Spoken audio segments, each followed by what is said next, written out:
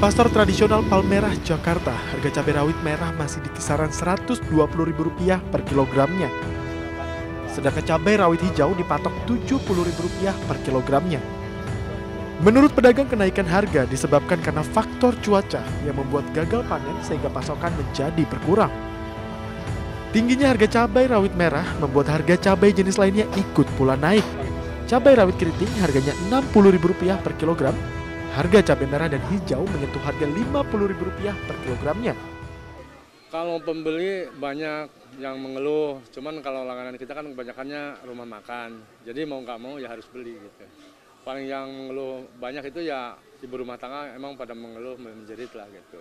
Kalau omset karena karena sekarang gede ya apa modalnya juga gede jadi kalau itu malah itu apa namanya eh, pendapatan mah malah naik gitu cuman ya untungnya yang berkurang. Tingginya harga cabai membuat konsumen mengurangi membeli cabai.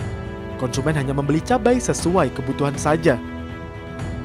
Sementara itu harga cabai di sejumlah pasar tradisional di Tuban, Jawa Timur terus meroket. Hampir setiap hari harga komoditas bumbu masak ini mengalami lonjakan harga.